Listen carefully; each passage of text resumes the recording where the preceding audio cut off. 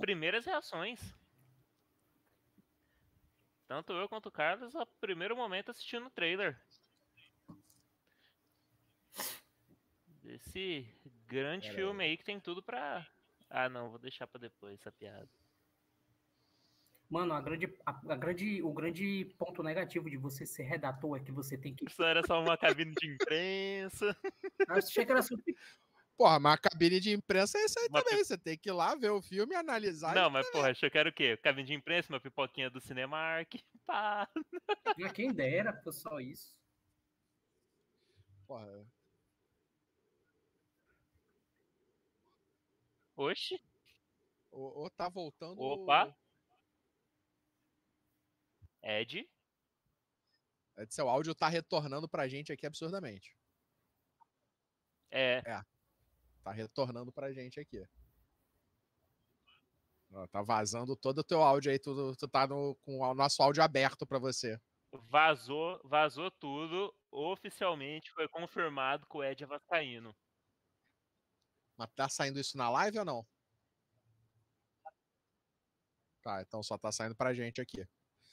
Então eu vou mutar o teu áudio, mas aí a gente não vai te ouvir. É. Pronto, mutei o Ed aqui. Ed, qualquer coisa, chama, No, no chama a chat. gente ali, chama no chat, porque estamos, estamos online, é isso mesmo? É Tamo mesmo, online, já estamos online, já estamos Tamo online. online? Ah, perfeito, então. Já estamos online há uns 10 minutos. Que isso? Aparentemente a nossa produção esqueceu de encaminhar o, o link aqui. Mas tudo certo, estamos online então. Bom, vamos começar as apresentações? Apresentar essa turma maravilhosa aqui que reunimos hoje para assistir esse magnífico trailer. Vamos lá. Pessoal, olá cabaneiros, boa noite. Aqui no plantão da quase madrugada para você que tem aquela leve insônia ou você que está acordado até agora sabendo que tem que trabalhar amanhã cedo. É um prazer estar fazendo companhia para vocês. Junto comigo hoje, aqui nessa bancada maravilhosa, temos ele, Lucas. Dá um salve aí, Lucas. Se apresenta, pessoal. Fala quem você é. Oi, pessoal, tudo bem? Sou o Lucas, eu faço parte da Nação Multiversal, em qualquer eh, rede social, né? O X, que em breve está acabando, espero que não, né? Eh, Instagram, eh, TikTok, né? Agora a gente é TikTokers, né? E é isso, É isso, nosso senhor de 40 anos que faz TikTok. É isso aí. Junto com a gente, Matheus. Olá, boa noite, pessoal. É, eu sou o Matheus, sou de Belo Horizonte e sou crítico de cinema, sou formado em cinema também. E estou escrevendo agora para o Cabana do Leitor. Tem um perfil no Instagram que chama Cinegrafia. Então, quem quiser acompanhar um pouquinho do meu trabalho, tá lá também no Instagram. É só seguir lá e acompanhar. E ele, que já é figurinha carimbada aqui nas nossas transmissões, quem acompanhou as transmissões de Loki sabe, ele, Carlos Voltor. E aí, bom estar aqui de novo. Vamos dar uma olhada aí nesse trailer. Primeira vez, não assisti ainda. Vamos ver aqui na live, ver qual vai ser. Coringa 2, né? É um filme que ninguém esperava, mas quem sabe vai ser aquele, o filme que a gente merece. Sim, infelizmente a gente não conseguiu os direitos de transmitir o trailer de Silvio Santos, mas que saiu exclusivamente hoje no mesmo dia e que com certeza vai ser o filme do ano, né? Mas enquanto isso a gente faz a revisão do trailer de Coringa, né? Então, quando estivermos apostos aí, pode soltar o trailer, produção. Rapaz, eu ia coringar, mas eu vou ficar quieto. Vamos lá. É, o trailer do Silvio Santos é sinistro, pô. O Silvio Santos até pula na frente lá do, da bala pra proteger o sequestrador. Sim, É sinistro de ruim, né? um senhor de Vamos 60 lá. anos, usando peruca, salvou um cara de um tiro de sniper. É tipo o Pablo Marçal. Bizarro é o Rodrigo Faro interpretando. Achei bizarríssimo. Cara, Eu acho que quem tinha que interpretar o Silvio Santos era o próprio Silvio Santos. Ah, aproveita que ele tá vivo aí. Cara. Ah, se eles conseguiram. Se a Marvel consegue rejuvenescer alguém, o SBT também consegue. Essa é, a É. minha lógica.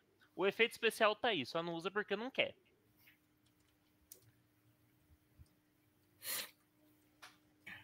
A Record, como sempre, à frente de seu tempo, né?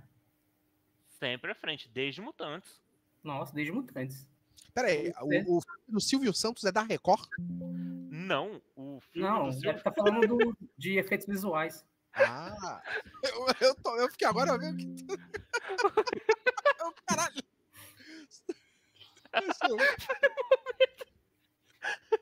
Por um momento, Carlos coringou. O que, o que que tá acontecendo? No final, ele se converte e manda todo mundo ir assistir a Record. Opa, soltou o trailer? Peraí, peraí, peraí. O trailer tá tocando, mas vocês estão vendo na live? Hey, Fleck, you got a joke for us today? A gente consegue controlar o trailer? Se a produção puder voltar ali do início, Vamos assistir uma vez inteiro e depois a gente vai comentando. Hey, Fleck, you got a joke for us today?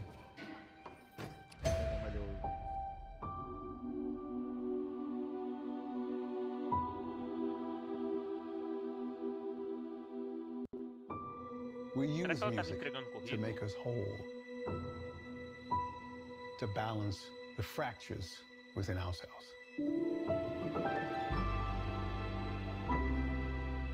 I'm nobody. Haven't done anything with my life like you have.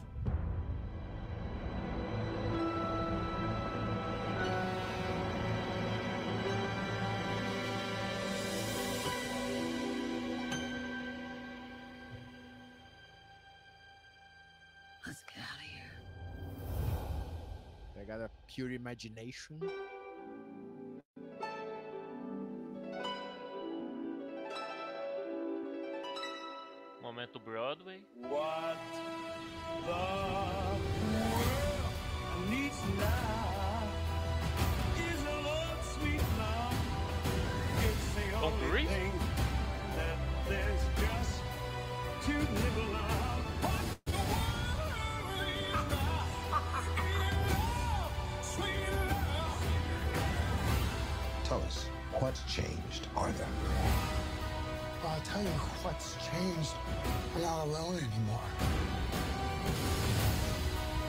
That's what we should be talking about.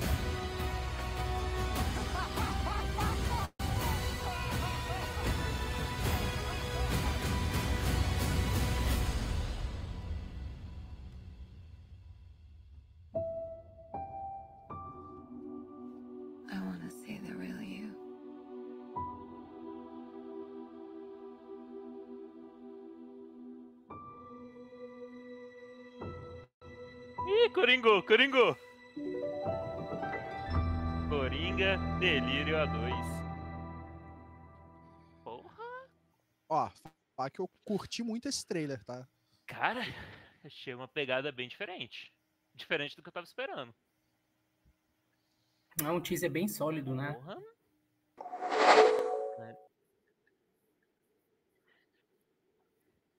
Mas com esses elementos lúdicos que são característicos de musicais que esse filme já se assumiu como um musical, né? Já se assumiu. Eu, eu curti Já. muito. Ele, ele abre. Se você botar ali no início, você vê que o- a música ela começa com o parecendo os toques do Pure Imagination, do Fantástica Fábrica de Chocolate. Sim. Ele dá aquela puxadinha ali que pra mim, porra, é- é- vai ser, eu, eu- acho que ele vai seguir um caminho que eu já tava imaginando, que as partes musicais vão ser da cabeça deles, vai ser a imaginação deles em relação ao mundo exterior. É como eles vão ver o mundo. Quando eles dois estão juntos, eles veem o mundo daquela forma. Musical. Totalmente diferente. Cara, eu achei muito legal essa pegada que eles colocaram.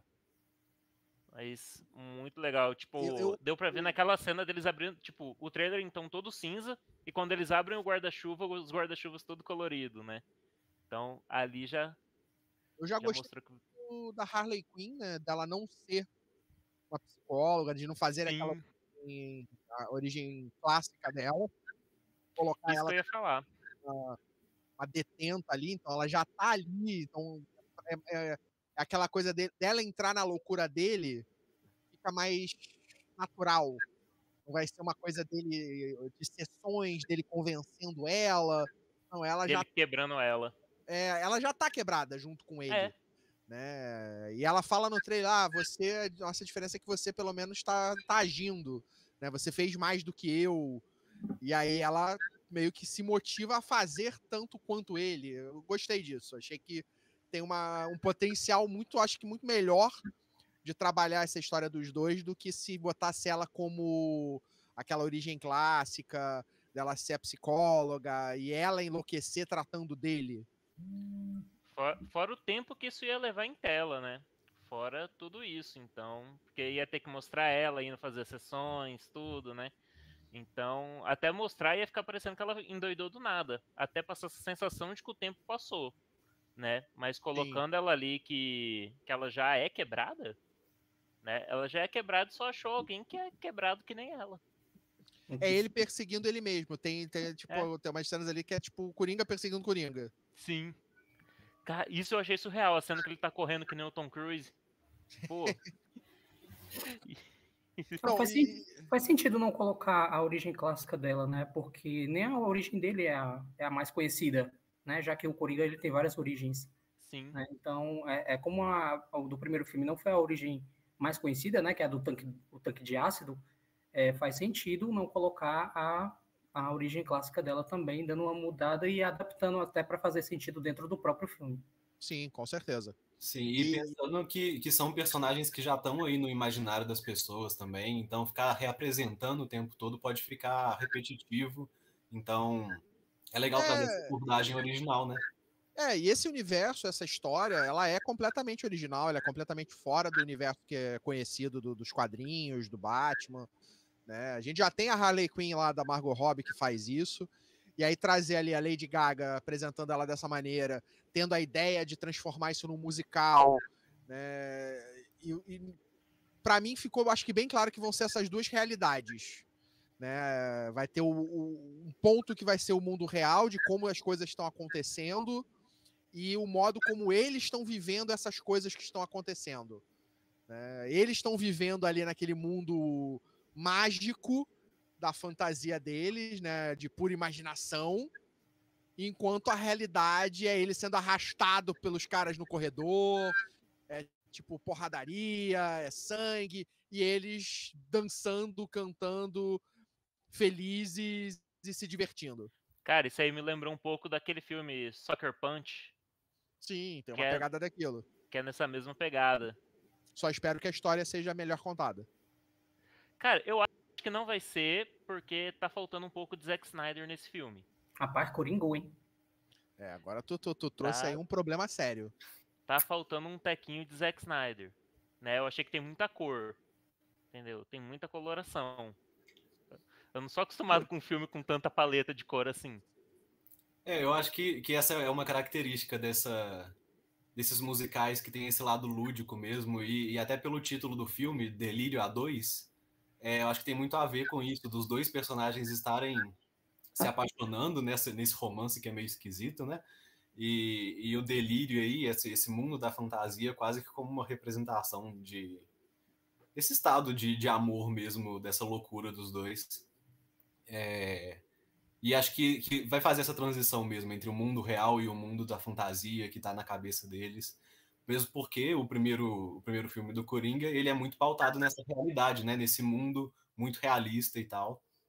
E que nesse segundo filme eu fico curioso para ver até as referências de musicais que eles vão trazer é, na paleta de cores, nos guarda-chuvas coloridos e a questão da cidade também, como que interfere ali na, na ambientação. Eu É. fico curioso para ver. É, eu, eu- de- pelo trailer dá pra ter ali algumas ideias de cantando na chuva, dá pra ter umas ideias ali Tem de Grease, Chicago. também, tem Agora Seremos é, Felizes, é? Alguma coisa assim, né? Da É. Judy Garland, antigamente.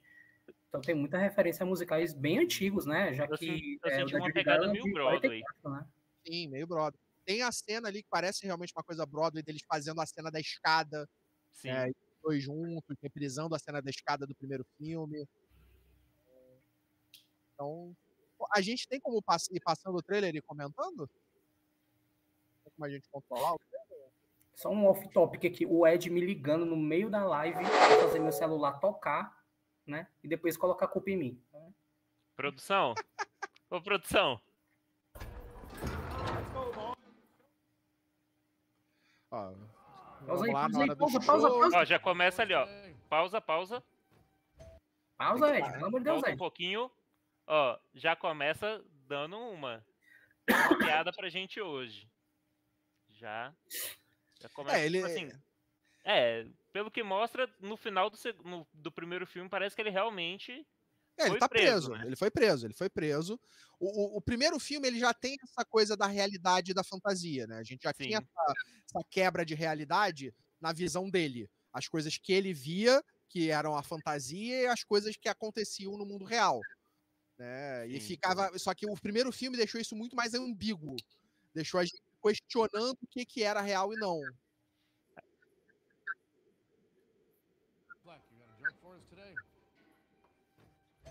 Sim. É. E agora Até ele é um porque- humorista famoso, né? Agora todo mundo sabe que ele é realmente. É, ele e o Rafinha Bastos estão pau a pau. É. Só que eu não conheço o Rafinha Bastos. Ó, Ó, ela tá lá. lá, ela tá lá num grupo de apoio, no, no grupo, né? No coral, na, quer dizer, É, a na igreja. princípio, né? Não, não, isso aí é dentro do hospital. Isso é no, no hospital psiquiátrico, Não, isso é dentro do Arkham. né? Isso aí é lá.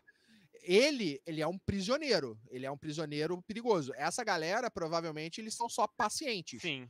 Eles não são criminosos perigosos. Né? Então é isso que Gotham faz. Mistura a galera que comete assassinato com a galera que precisa de tratamento psiquiátrico. É, eles estão ali próximos. Departamento de Saúde de Gotham. Tá, Ó, que parece que é tipo um tá lá. coral mesmo. Parece que é tipo um coral, ó. Voltando ali, parece que tem um cara tocando piano ali, ó. É, não, eles estão fazendo um é, canto, eles estão fazendo uma coisa de canto. Então você vai ter. a- o elemento música vai estar presente, tanto no mundo real quanto na fantasia. Só que no mundo real é uma coisa simples. Né? Não vai ser aquela Maluco coisa demais, mais é espalhafatosa. E ó, só nessa cena a Lady Gaga já me convenceu, porque, cara, esse olhar dela é de quem realmente tá, tá perdido. De tipo assim, endoidei. É isso. Ah, Lady Gaga é foda, ela é uma ótima. Eu Pô, acho ela uma ótima e excelente atriz. Ela funciona muito bem. We use Ó, music to make us whole. Ó, tá vendo? Vai ser relacionado ao tratamento que o hospital faz. Eles utilizam a música como uma- um meio de tratamento. E aí eu acho que vai ter essa quebra da realidade musical através dessa, dessa- desse tratamento. Eles vão quebrar a realidade com a música. Sim. Quer ver? Ah, balance. Ah lá, essa cena que eu acho foda. Tudo cinza, os guarda-chuvas dá pra ver que são pretos, eles não são coloridos. Aí, começou a música, ele muda. E aí e esse momento é que começa a, a, a sequência de notas do Pure Imagination. que é- E aí temos nosso primeiro número musical. I'm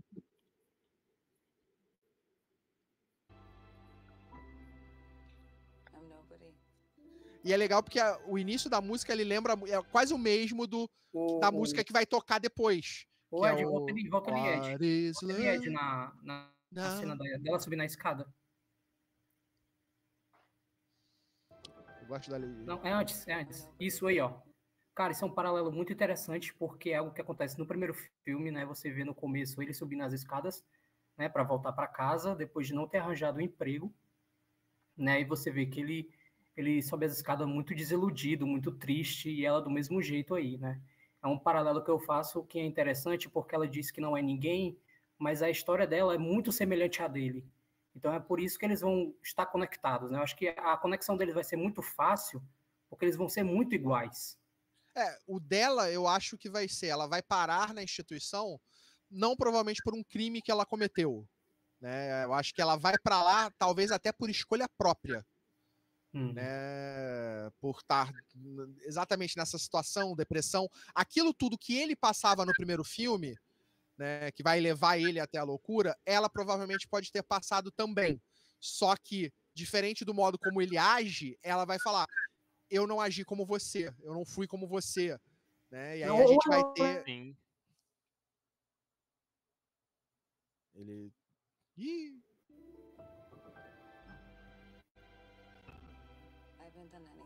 Ó. Amor à primeira vista. É, diferente de você, eu não fiz nada com a minha vida. Ela talvez possa ter tentado um suicídio e não e falhou. Sim né, E por isso ela é levada pra lá também, pode ser uma das opções. Cara, essa cena me lembrou bastante aquela cena do Elvis saindo pela luz, assim. Ó, isso pra mim já vai ser, eu acho que um dos primeiros momentos também, porque eles estão assistindo um filme e provavelmente eles estão se vendo nessa, vão passar algum momento que eles vão estar se vendo nessa tela.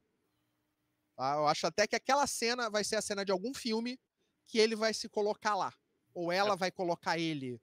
né? Você vai ter, eu acho que essas interações entre os dois muito conectadas com cenas musicais clássicas. E aqui provavelmente eles vão brincar muito com essa coisa dos filmes que a Warner tem também, dessa questão de musical, né? Ah, não, com Então certeza. ali. Com certeza.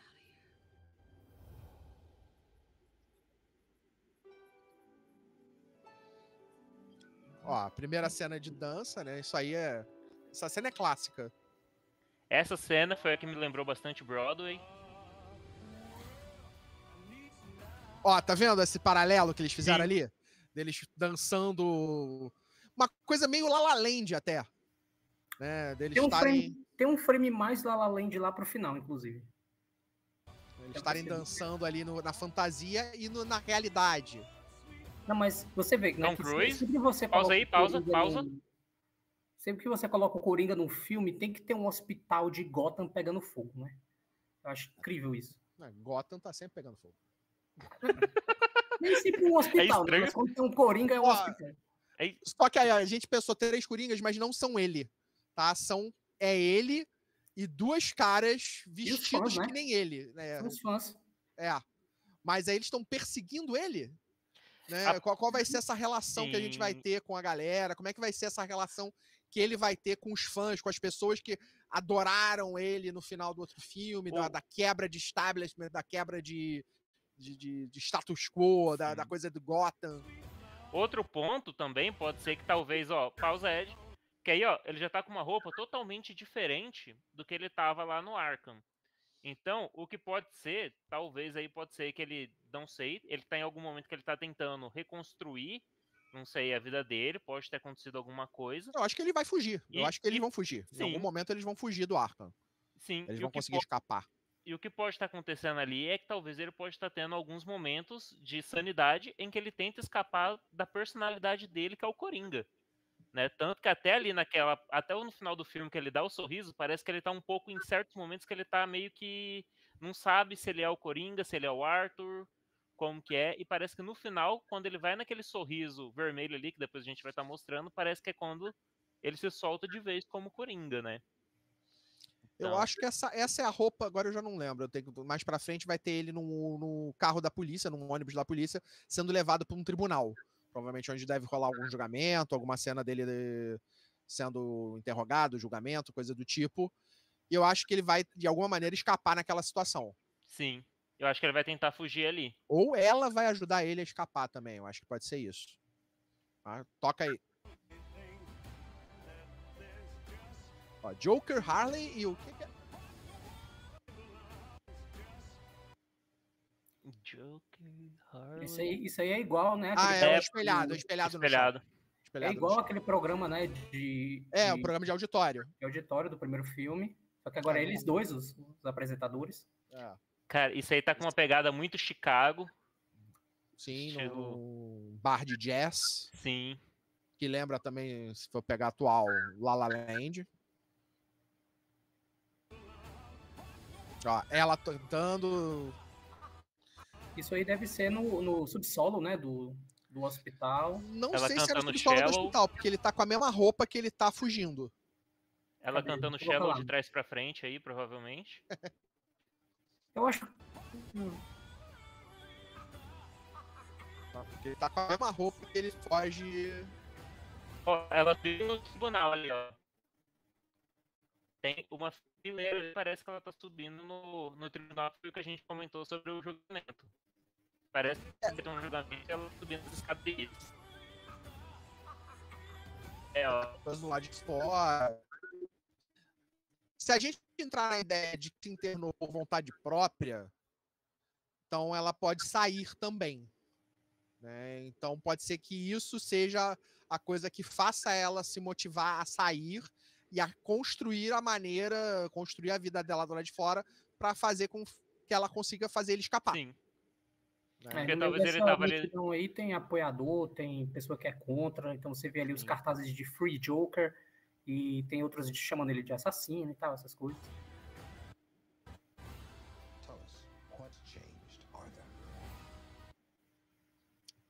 O que mudou? Ali vocês têm a reprise da cena da escada, né? Só que aí os dois descendo no meio da multidão, nessa mesma escadaria de tribunal, provavelmente depois, só que com roupas diferentes. Sim. E ao contrário daquela, daquela cena lá do, do mundo real, essa cena aí prova que todo mundo tá a favor dele, ó. Então você não vê é, cartazes de pessoas contra. É, provavelmente, Provavelmente isso aí é na imaginação deles. É. Exatamente. É a visão deles.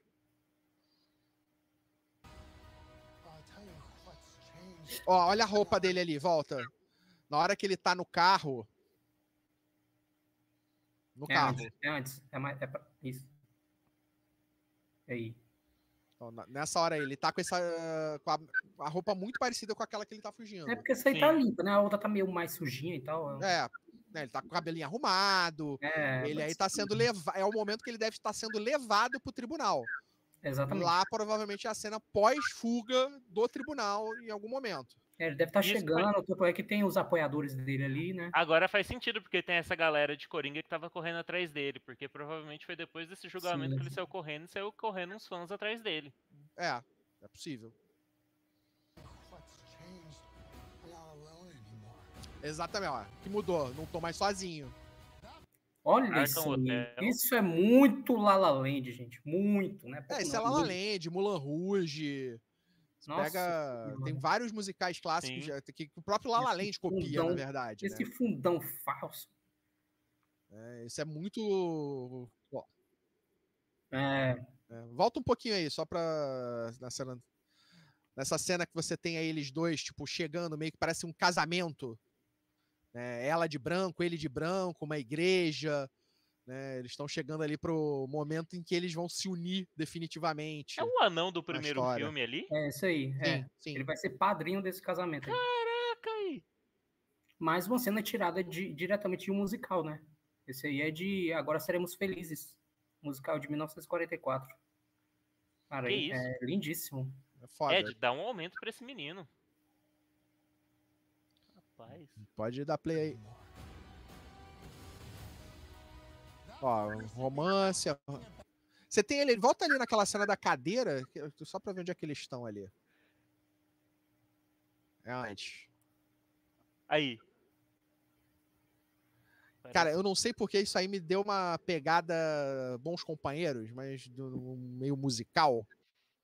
Uma Lembrou cena um pouco. meio. A fotografia da cena. É, sei lá, o cara vai provavelmente rir dele. E aí eu acho que ele vai matar o cara. Mas isso aí é da minha cabeça. Sim. Opa! Olha ali a explosão, explosão no tribunal. Né, dá pra ver as câmeras ali, o guardinha no meio da explosão. Hum, Né, Provavelmente. Cerquinha, Pode ser a cena da fuga dele. a cena da fuga dele. Tanto é que tem uma Hum. cena bem rápida dele nessa mesma explosão caindo no chão, né? Ele já e vocês viram que ele tava no começo, inclusive, né? O, Vitor falou aí que ele tava com aquele casaco meio, aquele casaco não, né? Aquela, aquele paletó meio preto, meio marrom. É, É isso. Aí depois ele tá já com o roxo, né? Já tá todo trajado de coringa. A cena deles dançando seria antes da fuga? Não sei se seria antes da fuga. Mas é, é- é possível, porque você vai ter, eu acho que primeiro. Todo o, o primeiro ato, eu acho que vai ser o romance dos dois ainda no hospital. né, toda a relação deles iniciando ali. E, pra mim, ela vai ser o principal força pra fazer a fuga dele. Porque eu acho que ela não tá presa, né? Ela tá ali por vontade, ou ela tem muito mais flexibilidade em sair do hospital do que ele. Ele tá preso. Né? Ali para ele é uma prisão pra ela é só um, um espaço de tratamento. Ou ela pode ser uma das fãs que se infiltrou no hospital para poder tirar ele de lá.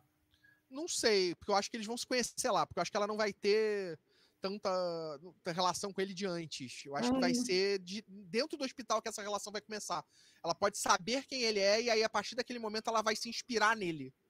Né? A partir do momento que ele vai pro hospital. Sim. né? Porque aí, se Eu você acho- trouxer que que ela já pode- é fã, não sei, não sei. Não sei se- Eu acho que ela vai se tornar essa fã. Ela vai se tornar. Não, não, não- não acho que nem fã. Porque, É. tipo, vai ser uma relação dos dois ali que eu acho que ela vai tomar ele como uma inspiração pra vida dela. Porque eu acho que a gente- vai ter esse paralelo que a gente até falou mais cedo, da, da vida dos dois. Os dois teriam uma vida muito parecidas até o momento que os dois vão parar ali. Só que com escolhas diferentes de caminho. né? E aí ela vai dizer, tá, você escolheu o caminho melhor e aí eu vou te seguir agora. Eu vou com você.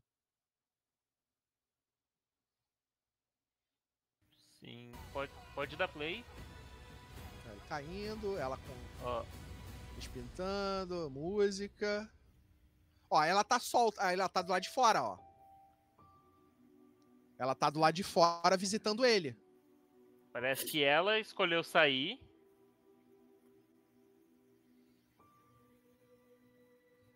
Aí. Aquela, aquela cena Aí é dela, onde ele destrava, ó. é, aquela cena dela passando a, o sangue na boca também é dentro do, do, Do hospital, né, do, do hospital não, do, do do tribunal. tribunal, é.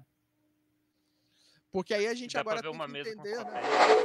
É, tem que entender quais os momentos que, a- que, que o filme vai ter de verdade, né, de mundo real, entre aspas, e do mundo fantasia deles. Né, para conectar co- o que é o que.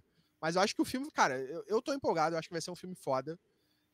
É, eu gosto pra caramba dos atores, tipo, Lady Gaga é absurda né, nesse sentido. Acho que ela vai entregar, principalmente na loucura.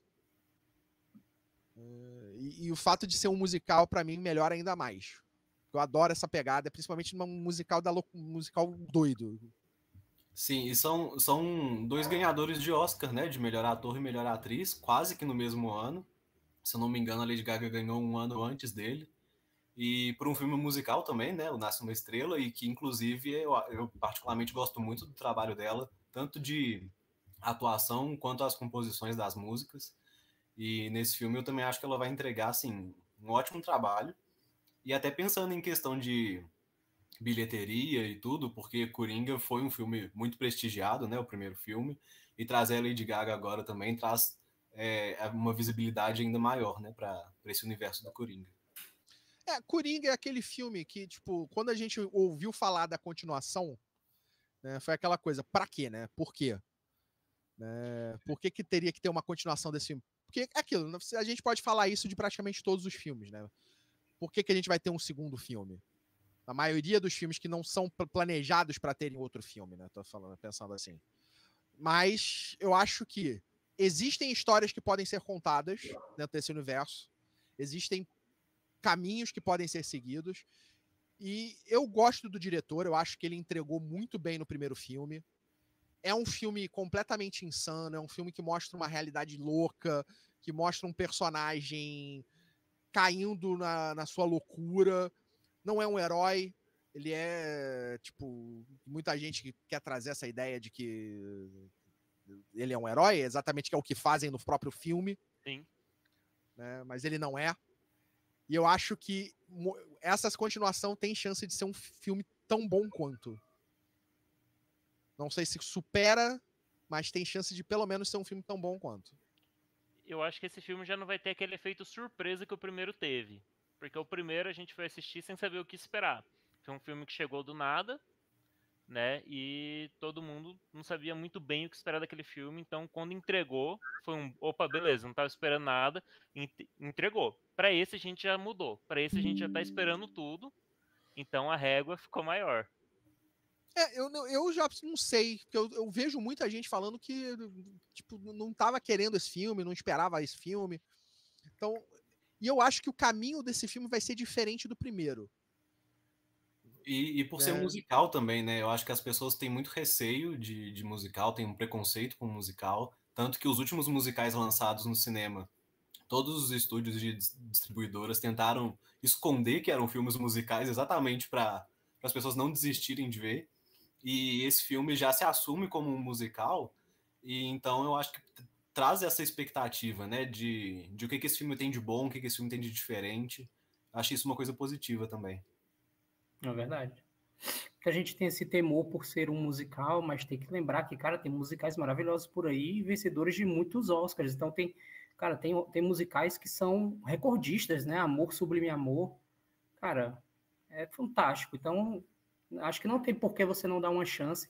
Até subverte o próprio gênero, né? Que você tem o primeiro filme que é muito drama, e você pega agora para o segundo, que é, uma, é um musical, ou seja, eu não lembro de, de um, um filme, uma sequência que muda completamente o gênero do primeiro, né?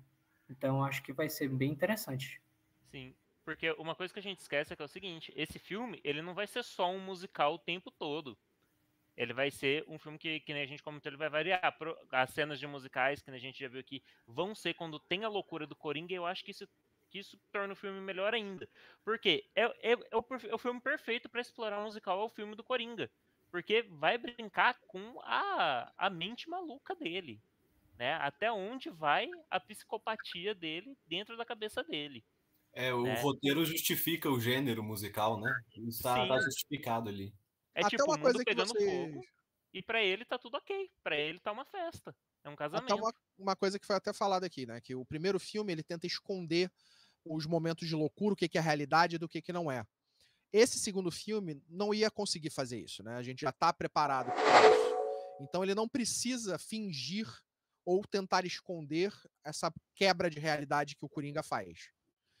Então acho que funciona perfeitamente ter esse tipo de gênero, ele ter essa quebra com a música que vai estar introduzida no mundo real, que a gente já viu que eles vão usar a música como um tratamento no Arkham, né, vai ser um elemento de tratamento. E aí, tanto a Harley quanto o Coringa quebrarem a realidade através da música. né? Vão estar curados na cabeça deles se utilizando da música.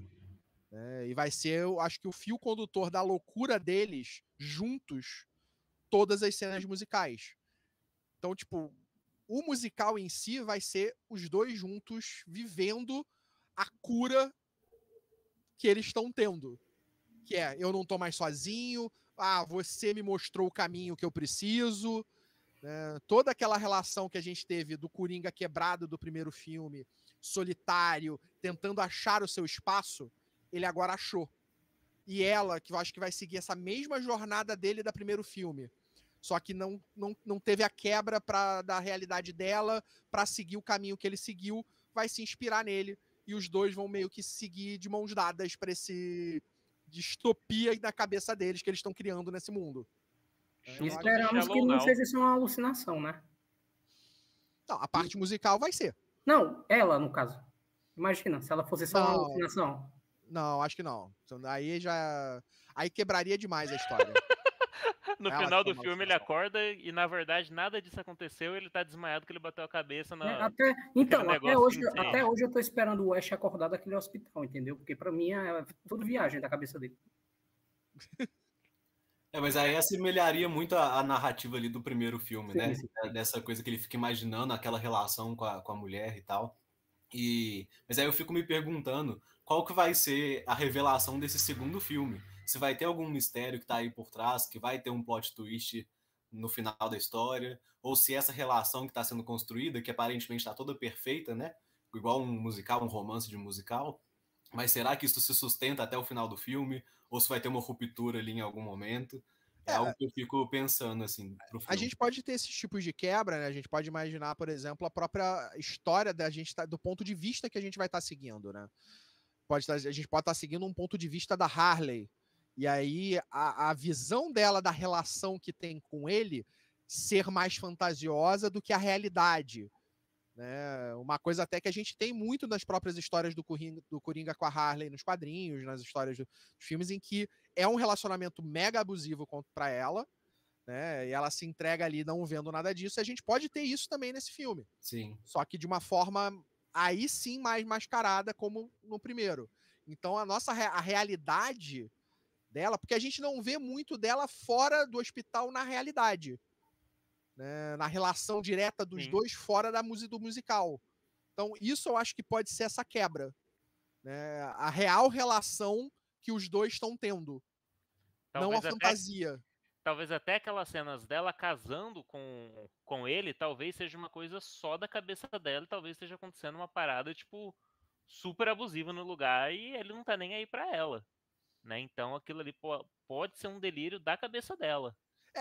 Só que aí eu, eu- aí eu já penso também, quebra um pouco a ideia do próprio personagem, né? Mas se bem que a gente tem toda a história que ele construiu com a primeira garota lá no primeiro filme, dele ter matado ela e ter tudo aquilo ali ser uma imaginação, né? O que que isso pode ser nesse filme, né? Ele, ah, ele descobriu ela, eles estão indo juntos, mas pode ter aquele momento em que a gente acha que continuou, mas houve a quebra. E aí pode ser só a imaginação dele ou só a imaginação dela. E nenhum dos dois mais estar vivo em algum momento. Né? Não ser os dois juntos. Então, eu acho que o filme tem bastante espaço ali para construir uma narrativa que pode surpreender. Né? Que pode trazer alguma coisa assim. Que tu fique, caraca. Putz, foda. Eles têm É. bastante espaço pra brincar ali. É. Sim. Então. ah, tem um pessoal comentando na live aqui, o poderoso Jeffinho. Grande poderoso Jeffinho. Ah, eu acho que não vai ter muito dessa parte de- abuso. Acho que a mensagem desse filme vai ser outra. Ah, Hum, mas que mensagem você acha que poderia ser desse filme? Porque eu não vejo mensagem boa vindo desse filme. Né? Não, eh, não tipo, faria o prim-. Exatamente. O primeiro filme já não é uma mensagem boa. Apesar de muita gente eh, reconstruir, querer contar uma narrativa de que aquilo ali é uma outra história, não é uma mensagem boa, não é uma história boa. Não é uma história de um anti-herói, de um herói. Em nenhum momento a história se dá nesse caminho. né? A gente tem ali, beleza, um sistema que é perverso, mas ele se torna tão perverso quanto o próprio sistema que ele está combatendo. né? Então, Ou tipo, você vive, ou você morre como herói, ou vive o bastante pra se tornar o vilão, cara. é, no caso, eu não digo que ele foi herói em nenhum momento, mas. é, tipo, ele, ele é o vilão que viveu o suficiente para ficar mais vilão ainda. Exato. É, tipo, ou, ou era o cara que não se importava com nada e passou a se tornar o vilão. né? Mas herói, eu não digo que ele Não- foi em nenhum momento. Não. né? Então, tipo, eu acho que a mensagem do filme vai continuar nessa pegada de seguir o caminho de ele é o, o errado da situação. E eu acho que ela pode ser levada no ponto também de ser errada na situação. Eu acho que não vai ter uma redenção de nenhum dos dois na história. É, não vai ter bonzinho nessa história, né? No final das contas. É, exatamente. Eu acho que a gente não vai ter uma jornada ali de redenção, de um deles ser melhor, de e se salvar. Eu acho que não vai ter isso. Pelo menos na minha cabeça, eu não consigo ver esse filme seguindo esse caminho. Na- Eu Esse acho que aí ele se perde é, assim, ne- nessa mensagem. Cara, esse filme eu consigo ver um filme em que, tipo assim, vai servir pra brincar com a loucura que é a mente do Coringa. Vai servir pra brincar com esse universo e possivelmente introduzir para um terceiro com a participação da tia do Batman. Né? É, o que- é, é uma das possibilidades de encaminhar para o multiverso do Feira da Fruta. Né? Eles estão com tipo a faca e o queijo na mão né? Só falta realizar. Ó. ó, Jeffinho comentou ali, ah, estava comentando nos Space com, os- com o Lucas agorinha. Aí, Lucas, você sabe do que ele tá falando. Vocês estavam numa discussão acalorosa aqui. Ah, acho que a mensagem vai ser pautar o sistema prisional e de como os presos são tratados ali. Não, mas isso aí sem dúvida vai servir como uma crítica ao sistema prisional, vai servir. Ele vai fazer. É um filme que ele vai fazer várias críticas. É, né? mas eu, eu não acho que ele vai se prender só a isso. Não, não vai. Até porque Ele vai. acho que vai ser fora depois também. Sim. Ah, não ele vai mostrar. É, eu acho que não vai chegar nem ser uma crítica, porque ele vai mostrar a realidade de como funciona um pouco do Arkham, né? Ele vai mostrar um pouco de como funciona ali, dos métodos de tratamento, não sei o quê. E de, cara, como o. A mente juntar dois doidos junto não dá certo, entendeu? Juntou dois surtados ali, o Coringa e a Harley, e, cara, causou isso, entendeu? Ah, acho que redenção também. não- Cara, eu também acho que não. Acho que esse filme ele não tem redenção. Na, na realidade, o que eu acredito é que esse filme vai terminar com os dois morrendo. Porque vai pra onde depois daqui? Depois do musical você vai fazer o quê? Uh, Vai virar Velozes e Furiosos? Pô, aí já já complica um pouquinho. Então, pra mim, o final vai ser o Coringa e a Harley ou eles morrendo ou tacando fogo em Gotham. Uma dessas coisas vai acontecer. Agora, É. qual exatamente? É só esperando pra ver. Ou É. tendo um filho, né? Meu Deus, não, não, não, não, não. Ué, alguém tem que ser o Coringa pro Batman, gente. O Não, Batman de é novo, criança não. Não precisa. Aí que tá, nesse universo não precisa existir um Batman. Não, não precisa de Batman. né? É, é- é essa que é o legal desse universo. Nesse universo não precisa existir um Batman, não precisa existir herói, não precisa ter um futuro de universo. Ele é um. é- pode ser uma história fechada ali, sem, sem esse futuro. Pode ser um mundo que não vai ter heróis. Pode ser um mundo que não vai precisar de um Coringa no futuro para enfrentar um super-herói. né? Eu acho Um que. mundo normal. Eu acho que a, a ideia do próprio Todd Phillips, do diretor, não é levar para esse caminho. Né? Apesar da gente ter ali uma ideia de Bruce Wayne existir, eu acho que esse universo ele tá ali contido na história do Coringa. Né? É, Eu É acho um que Bruce não, Wayne que só é bilionário. É um Bruce Wayne que tá lá. né, né, acho que a gente não vai ter a morte dos pais, não vai mostrar Sim. nada disso, né? Tanto até que não parece faz. que- Sim, tanto que parece que esse filme ainda se mantém ali nos anos É, não vai 90, porque 80. o, o Thomas é pai dele, né?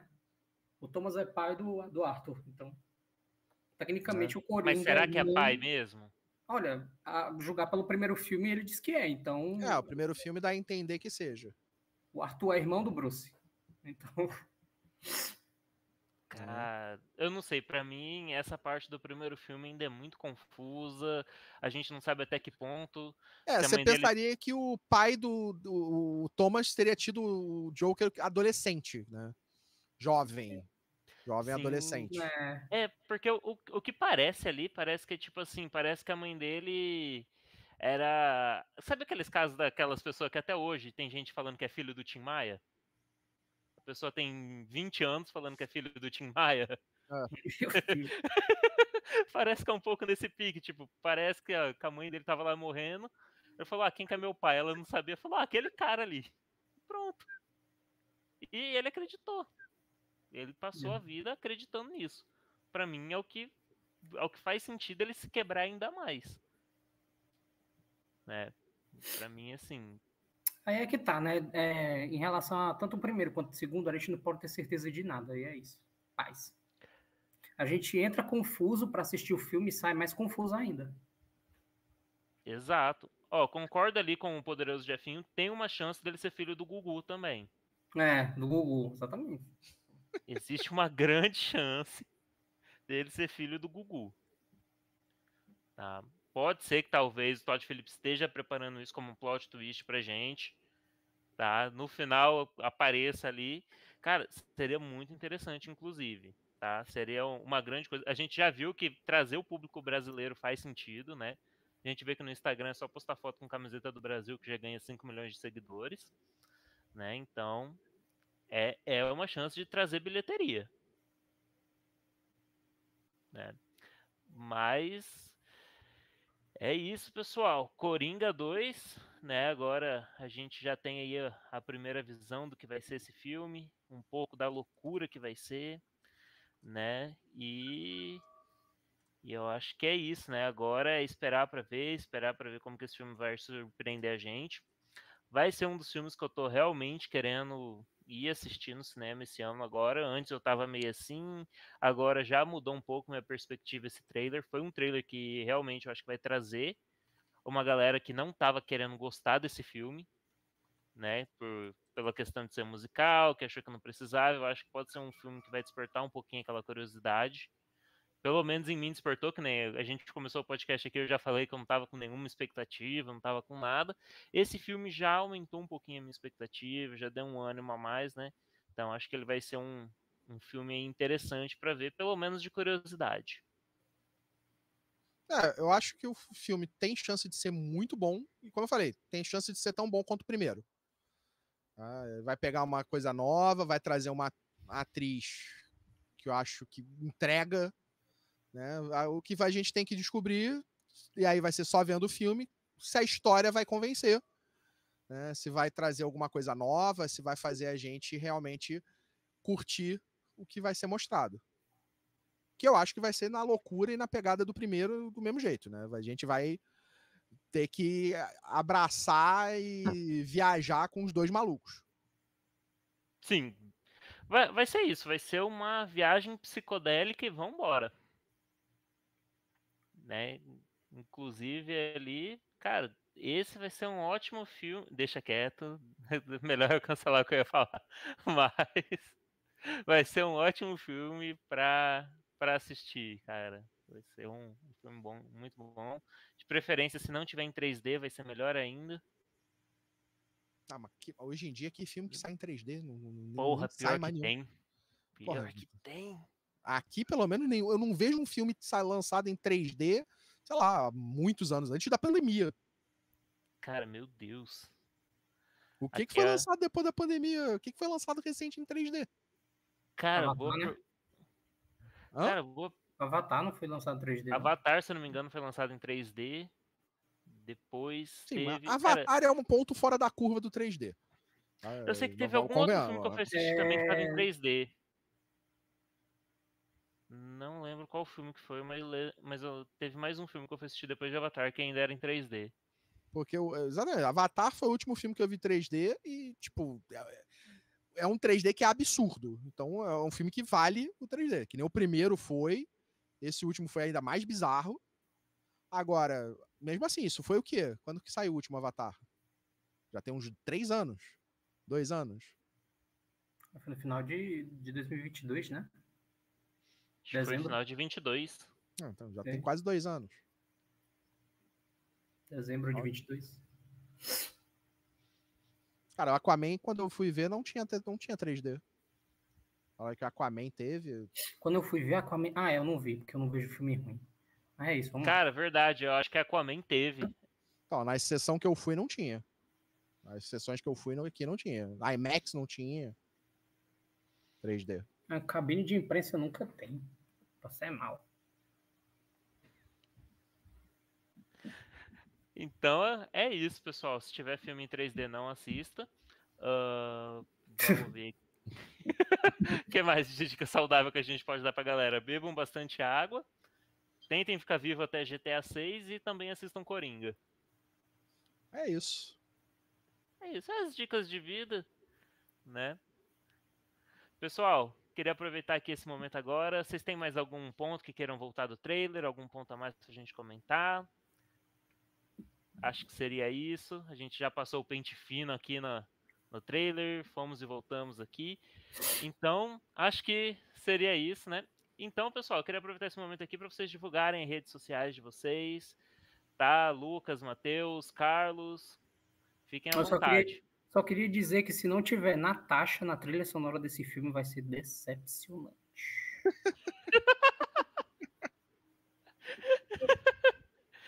Cara, eu queria muito que tivesse Shallow Now, mas a versão da Paula Fernandes. Mas eu acho um pouco difícil. Né? Mas. Opa, Lucas, seu microfone tá. Acho que tá mutado. Não, tô falando nada não. Ah, não, Matheus. Seu microfone acho que tá, tava meio mutado ali.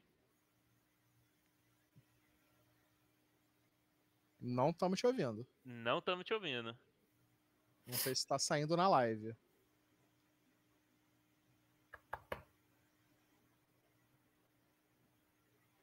É, a gente não te ouve, mano. É, não estamos te ouvindo, não.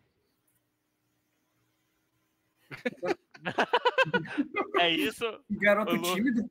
O Lucas é um fiquem beleza. Carlos, se quiser divulgar aí pra gente o seu Instagram, pro pessoal poder te seguir também, poder seguir você nas redes sociais, no seu IG, né? Poder- Cara. É, só Carlos Voltor em todas as redes. né? Só me seguir.